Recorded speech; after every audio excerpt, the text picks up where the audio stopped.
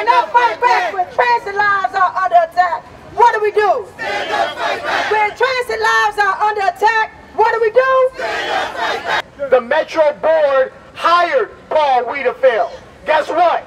The Metro Board can fire Paul Wiedefeld. And that's what we're calling for today. So when I say one, two, three, four, you say Paul Wiedefeld's got to go. One, two, three, four. Paul Wiedefeld got to go. One, two, three, four. Paul Wiedefeld got to go. One, two, three, four. Paul Wiedefeld got to go. One, two, three, four. Paul Wiedefeld got to go. They are not nationalists.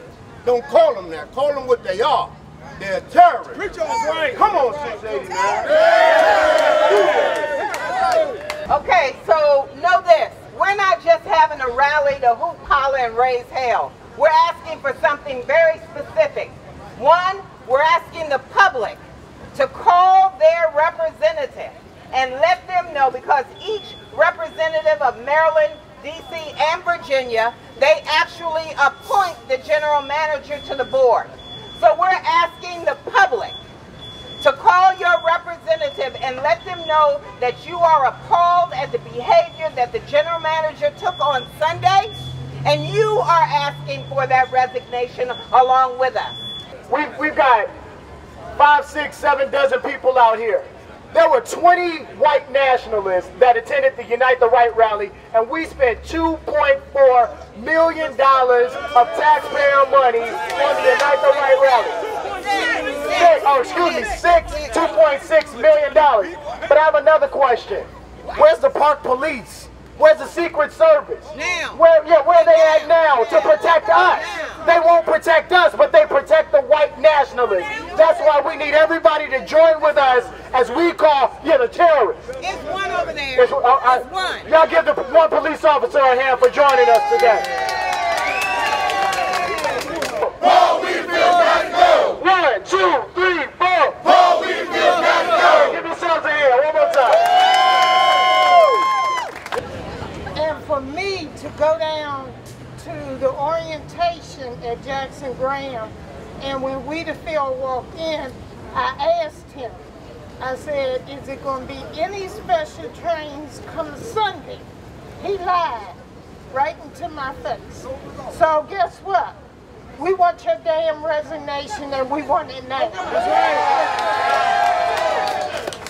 So when you see him, say shame, shame, shame, shame, shame, shame, shame, shame, shame, shame. Shame him! Shame him! Shame him! Shame! Shame! But I expect your resignation immediately, sir.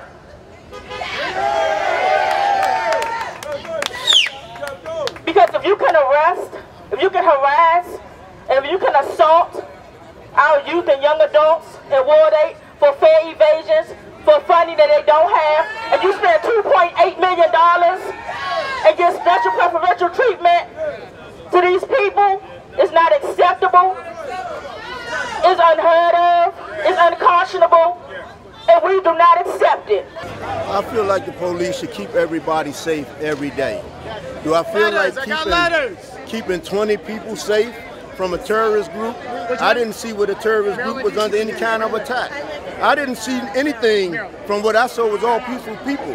The other side were peaceful people coming to protest what this terrorist group wanted to pro wanted to do. So to say that you were keeping people safe, who were you keeping safe? Were you keeping the terrorist group safe, or were you protecting the protesters? Who was the counter protesters protesting what this terrorist group was going to do? Because from what I seen and what I know about the history of this group, the only people who are at danger, the only people who have ever shown any type of violence is the people who got the special privileges. Those are the people who got the protection. If you were going to protect, some, protect anyone, you should have been protecting the counter protesters from this terrorist group. And I heard a really interesting point about this, which is that, you know, there's maybe one cop here, like physically among us right now, there's maybe one cop, uh, maybe a couple more. I think I see one cop car over there. But basically, you know, Yeah. spending spending normal hours, no overtime hours, no barricades or nothing. How does it kind of make you feel that your demonstration is treated with virtually no protection, whereas they spent two and a half million bucks on on these It, 20 it's an insult. It's not only an insult to me as a 689 member, but it's also an insult to me as a member of this community. For you to spend our tax dollars, again, on a terrorist group, and then, like we said earlier, we had one transit police officer standing over there. We had one DC police officer who just so happened to be parked over there, probably going to get him something to eat. You know, the truth about it. But this group got police officers from all jurisdictions to protect them. I mean, the photos you see, we have a whole lot more. But let's not make it about what the police did. Because the police wouldn't have had to do any of the things that they did had Wiedefeld not giving them permission to do it. We have our own police department. We call on them daily. 689 call on our police department daily to protect our workers. And here it is on September the 1st of 2017, we had operators who were disciplined for not wanting to take a bus out on the route where they have had many of assaults on. They were disciplined for just asking for a police officer. We talking about the people who work here. But when you take a terrorist group of 20 people and you give, you spend 2.6 million dollars protecting them, like they say, come on, man. You know, um, I lived in, in D.C. for many years until I got married and moved out. But as a as a person who does business in D.C., as a person who represents workers in D.C., there is enough that needs to be done with taxpayers' money. There is enough. Our school system alone needs tax tax dollars sent to it. You know, if you look at goods and services and all of those things that the government is supposed to be um, for, you know, I represent workers. So just the workers that work in the district and they do business with the government of the District of Columbia, I'm sure there's contracts that go on that have to be paid. That money could have been used for something other than 25 white nationals. And so I, I was in the metro. I filmed as this was happening. Right. When you see uh, Unite the Right attendees, and right above them was the word special. It was a Right. Special line. Right. Tell me about the images. How, how does that make you feel to sort of see Metro giving them that kind of treatment? That tells me that this nation that I love so much, this nation's capital, gave special treatment to a group of people. You can call it whatever you want to call it, and that's why we call it a lie. Because if you can't just come out and say, I put a special train in service for them, Instead, he said he was not giving special service. It was a lie. And it, and, and it, it does something to you because the very fiber of our being tells us that we're supposed to fight against this kind of prejudice, this kind of hate.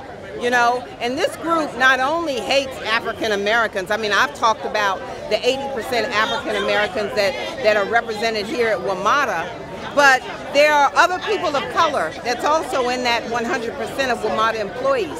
There are people that make up the fabric of this nation's capital that are of every persuasion that you can name. And this group hates us all equally. And then you give special service to a group that hates the riding public.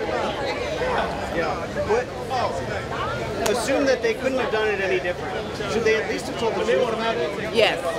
So, kind of tell me about that. How does it feel? If they if they had told the truth about it, you wouldn't see us out here now. We wouldn't have anything to say. The fact that you lied and you were deceitful the whole time that they were planning, they were lying. I know for a fact they had a meeting on Thursday where they were planning what train was going to be used. And he was still lying to the public saying there was no special service.